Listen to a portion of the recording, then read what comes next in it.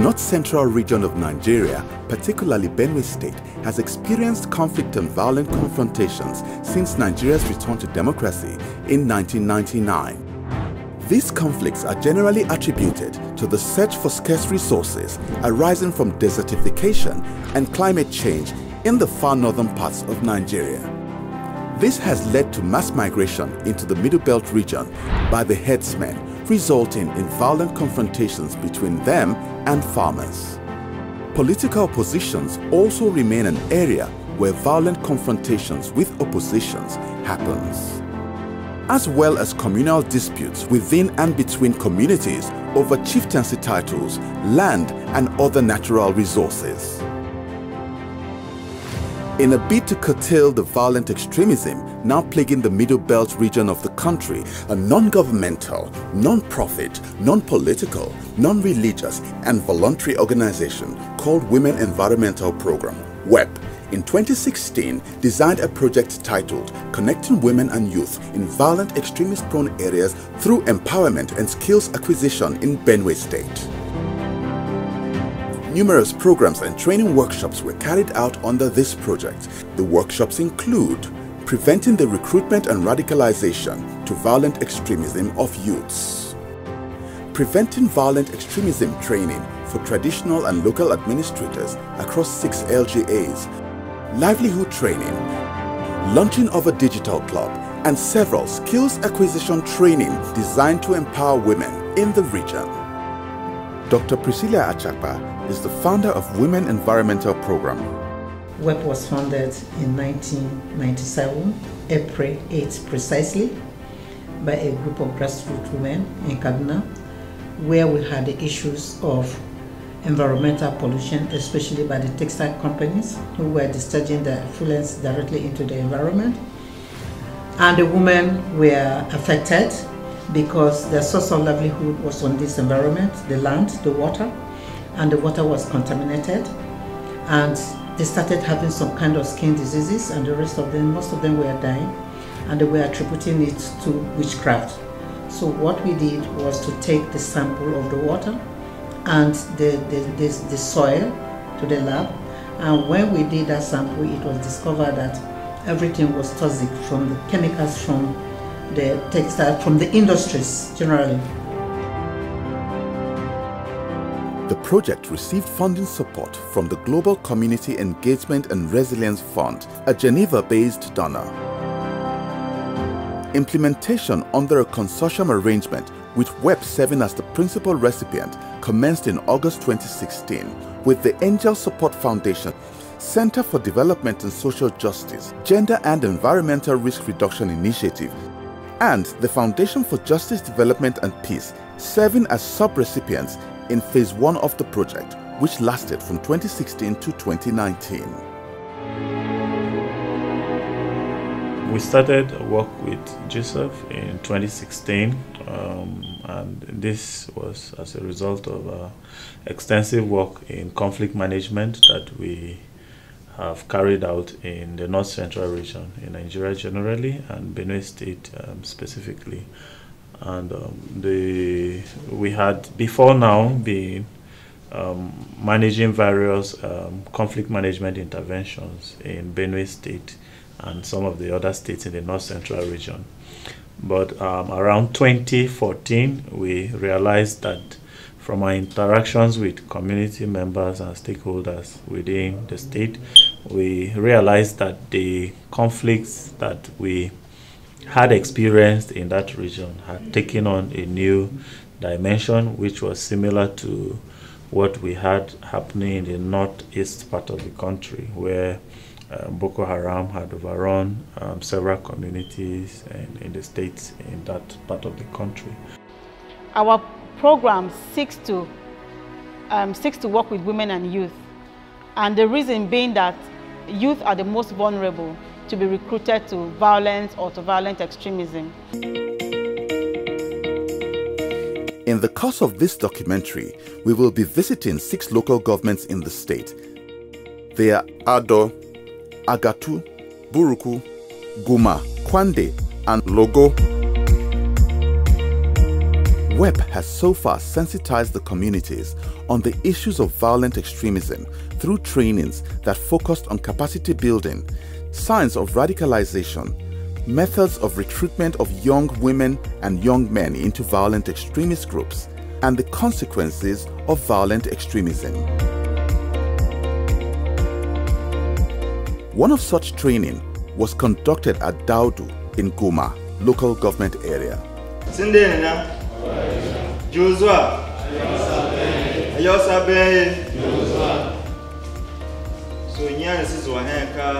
a training session for community policing and neighborhood watching. Come in now. Community policing and neighborhood watching. Nina. Community policing and neighborhood watching. I must give kudos to the women for organizing such a program like this. At least it enlightens the society, not only the society, the public, about giving information to the police that will help in curbing crimes in the society. Actually, this has gone a long way because there's a saying that says if you are not informed, you are deformed. And police, we need information to, in order to effect our duties efficiently. Program was come to kasu bayo wasin bayo Ebola, I was in bed. Shayi ya, ayi ukolon ba ya su ta, yangi we folele. Sha program ni ne. Yenu tren program ne. Program ni yebe si, was se tio. Sekre to na was se gbe. Atrense, sha su pa yen. Ite tren ba ya su ku ya. I was se, sha ba ya su ba yangi be si fae. Beka lo ebe siga kpàyé bọ́n bá a bẹ̀sẹ̀ awọ àsìgbé àtìmẹ̀ bàgẹ́nu bá yẹrẹ wọ́dẹ̀lì bàgẹ́nu máa tọ̀ọ́nù fọ̀tó bàgẹ́nu fúfayíwẹ́lì rẹ̀ bàgẹ́nu bàkọ́nù kíkẹ́. Bàgẹ́nu pànẹ́ bìtì náà gbẹ́n program ní awọ àsìgbé ṣé tùrẹ̀ bẹ́ abo bẹ́ aka agẹ́ni ẹ̀ bà cooperative. Igùnmọ̀ hẹ́n. Náà abo bẹ́ wò á ń tọ́ ọmọ kìrìkìrì. Small small loans. Agatu local government area, whose residents are mainly farmers, has not been without its share of unrest in recent past. But through our numerous training projects organized for local leaders, women, teachers, religious leaders, as well as young women, the cases of unrest have reduced significantly. Agatu has been, over the years, over 40 years, been plagued with conflicts between farmers and herdsmen, and also the tussle over the ownership of fish ponds. And very recently as well, there has been a lot of um, intra-communal crises between communities, one community or the other. Um, at the center of these conflicts, you have youth, of course, who are the perpetrators of this conflict because they are the ones that carry out um, most of the violent attacks. I want to share what I learned from here to my people at home, reach out of uh, reach out to them to change their own character. You know, in Agatu, it's a problem area, and the problem is generating from our youth. And since the program came to Agatu, that they are giving encouragement to our youth, I've seen that the youth, they are learning a lot that uh, they, they, they are changing from that their bad character to a very good character.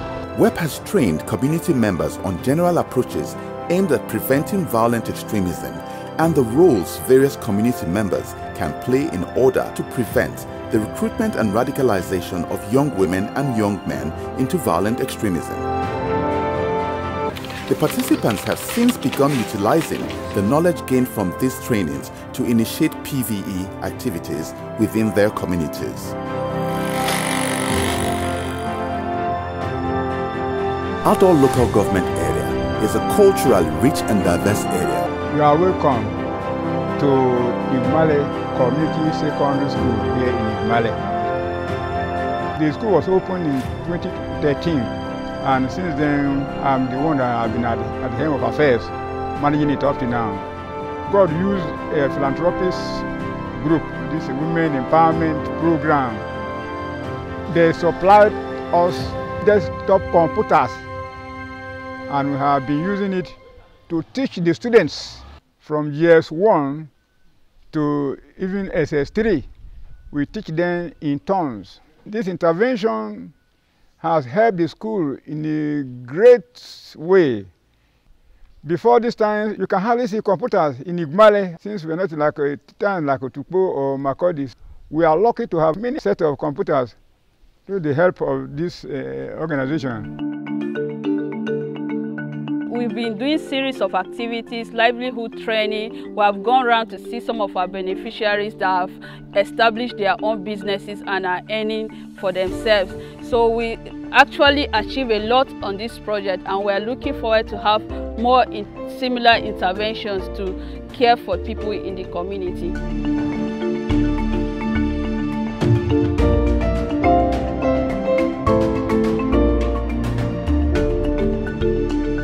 Many individuals can now boast of a source of income.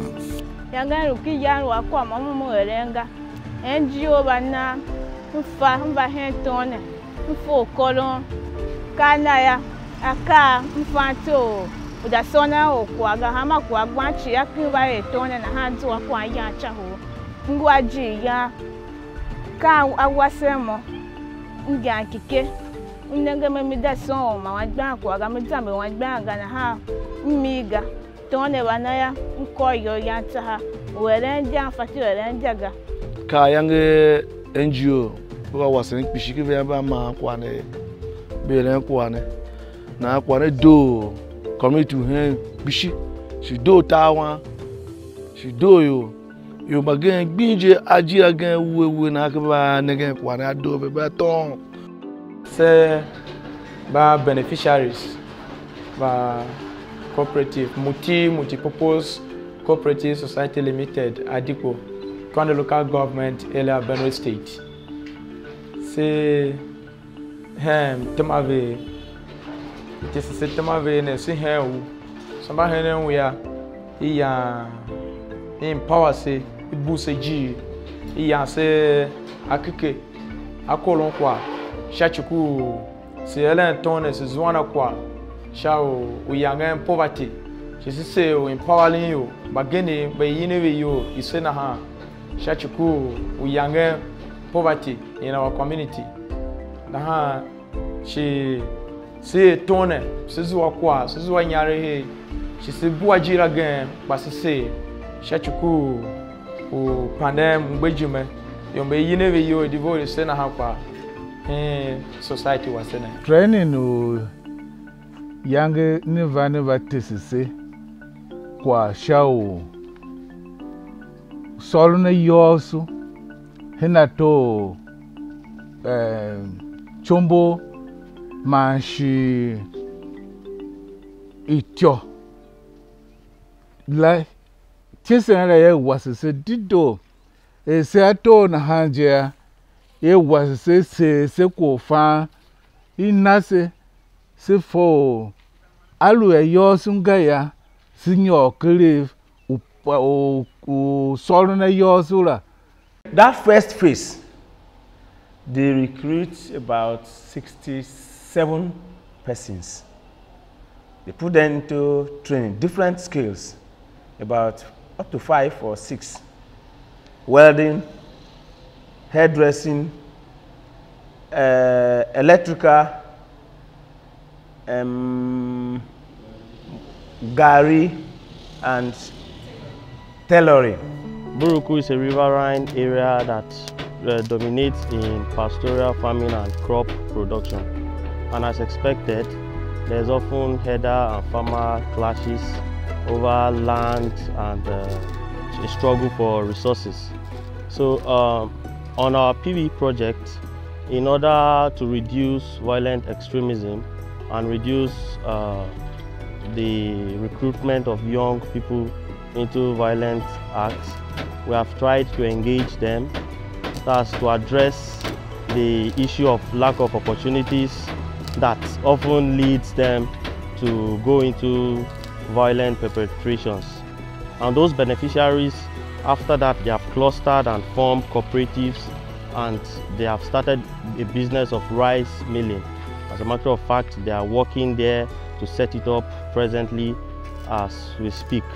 Also, to address the absence of sense of purpose and lack of sense, sense of what that leads youth into violent extremism, we have set up mentorship clubs and peace clubs in secondary schools. Thank God for the organization that make it possible. Now I can type and print and design.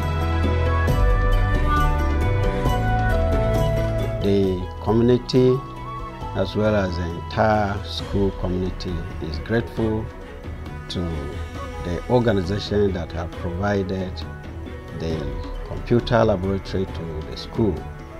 For we have benefited tremendously from the computer laboratory by training the student as a model to go after the aspiration of the founding fathers of this community school. Uh, Women Environmental Program has created a lot of awareness in my local government. They have made both adults and youth of the local government to see the dangers of living in an evil society. Secondly, they created job opportunities in my local government area. Youth, particularly those who have received training in some of the skills, are now able to join some businessmen so that they will be earning their own living.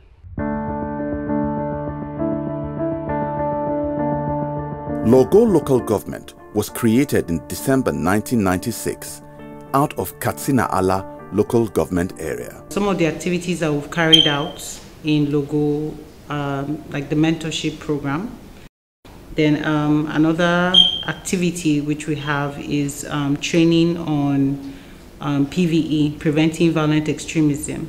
So this one is strictly with the different security agencies in the at the local level. So we have like the civil defense, the police uh, officers, and there's immigration. We even have the vigilantes.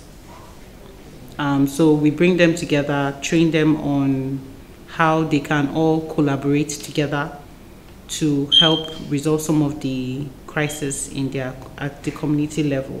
One of the activities I did mention was in community policing. This community policing is a is an avenue to bridge the trust between the community members and the different security agencies at the local level. Because they are, uh, we're working with five council wards, and we ask them to work together. So every month, they made a commitment that every month they have to come together, discuss some of the pending issues in their council wards, and find ways in which to resolve it. Women Environmental Program visited our local government. So they did a lot of activities. But I personally, I participated in mentorship program. They mentor us for a period of one year. And at the end of the program, we were issued with a certificate. So at the end, we that were mentored, we formed groups in our various council wards and we extend the training and the teaching that we have learned from them.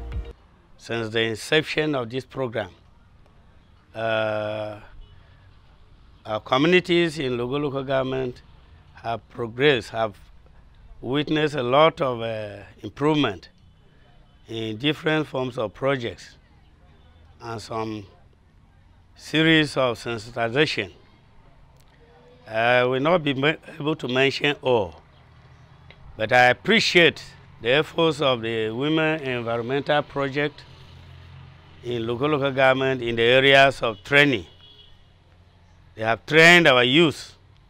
They have sensitized our youth, educated them on the need not to be involved in violence, extreme violence. They have shown them their various categories how to control uh, violence and avoid it completely.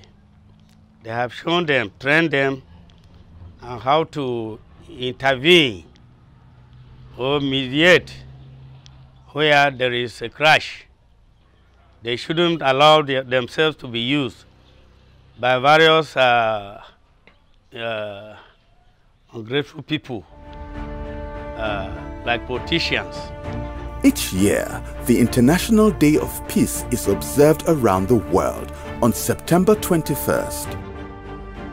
The United Nations General Assembly has declared this a day devoted to strengthening the ideals of peace through observing 24 hours of non-violence and ceasefire. In marking this day, the Women Environmental Program organized a peace rally in Makurdi, Benue State.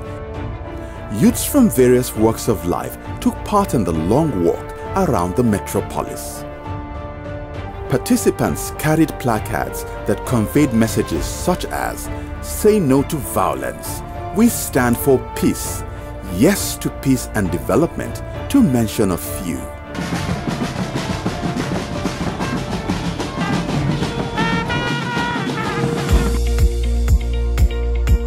On the 6th of August 2021, stakeholders and state legislators met in the Federal Capital Territory, Abuja, to discuss the proposed bill on the establishment of the Benue State Youth Development Commission. Around the country, everywhere you go, who are the people that are the helm of, at the helm of perpetrating violence? It is the youth. Because most of them have graduated from schools, they are unemployed, they don't have anything to do, so they fall very easily for anybody that comes to come and give them a stipend to go out and perpetrate violence. And so we feel as an organization that establishing a youth commission where we have a lot of partners that will support this commission, both in terms of funding, in terms of others, is very key in building the capacities of our youth. Before this project, we had implemented several other conflict management projects in the state, which meant that we had we had presence on the ground in most of the troubled local governments, local governments that had one time or the other experienced one form of conflict or the other. Ado, Kwande, Loko, Agatu, Katsina-Ala, and the likes. And beyond implementing activities on the ground, we also conducted several researches that were published with funding support from uh, the Irish Aid, the UNDP, and the rest of them. And so this gave us an understanding of the context. So by 2015, at the peak of the changing dynamics of the kind of conflict and violence that was experienced in Benue, we conducted a community needs assessment. It's a research that gives development organizations an insight into the issues that are, the communities are facing and what possible solutions they feel will solve those problems. A cross section of other guests also spoke during the roundtable meeting. Today is a day that Benue youth will be rescued. And this can never be possible without your support, my distinguished colleagues. Yes, we're talking about creating more opportunities. We're talking about uh, giving them a competitive edge. I heard something about self esteem. All that will not be possible if we don't have an arm that looks at rehabilitating, mentoring, and then giving some form of counseling and guidance to our young people. GCERF has funded five different uh, consortia across the um, north central region um, in order to implement PVE programs um, whose objectives were to address the drivers of violent extremism identified through local needs assessments and, and baselines. Um, the Women Environmental Program WEP has been the lead organization of one of these five consortia and has implemented the project connecting women and youth in violent extremism prone in prone areas through empowerment and skill acquisition in Benue State. The project took a whole of community approach, engaging a wide range of stakeholders from state and non-state actors, and focused especially on local government and youth. But until we are able to provide social structures that enable these young people to either develop their capacities or deploy their develop, developed capacity, the youths will continue to rely on their muscles for survival. And any society where the youths rely on their muscles instead of content and capacity for survival, that society suffers a lot. When I saw what has been already been, has already been put on ground is well crafted, and with this, I think the youth of Benue will be taken off the street, and youth of Benue will no longer be involved in vices that are not good for the society. Those social vices will no longer be inculcated in our youth because of this bill that is before us. Bearing in mind also that the governor of Benue State, who is youth friendly, we, as an assembly, will bring the executive together and make them understand that this bill must pass as quickly as possible. Uh, my appreciations goes mostly to WEP and uh, GCERF for finding uh, the uh, time to, to invest in Benue youth. This is coming at a very good time. It's, it's, it's for the development of the youth in the state and is, is a focal point of a, of, of a development of, a, of, a, of, any state.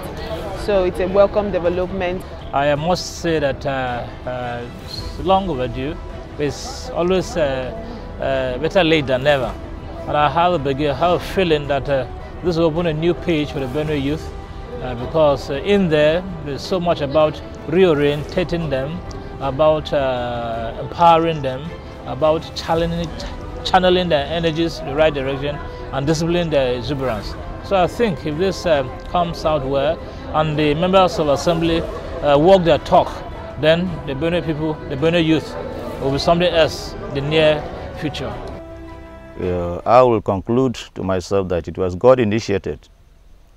The idea of talking with our youths and teaching them what to do is very important because there is a saying in the Bible that my people perish for lack of knowledge. And we have seen that the knowledge this uh, uh, NGO has, it has the people at heart. The society is better than before. In fact, when you go to the to the roads and everywhere, you see the when you talk of the of the women environmental program here, they all know because it has helped everybody. For us as an organization, it's not just about going into the field to implement activities, but when we look around and see that young people, um, religious leaders, teachers in schools, traditional rulers, people from the administrative leadership of the local government actually take information they obtained from the activities of this project and begin to replicate this at the community level.